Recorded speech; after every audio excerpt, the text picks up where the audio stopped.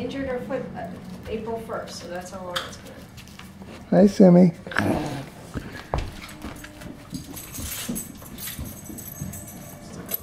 Skip his trot there.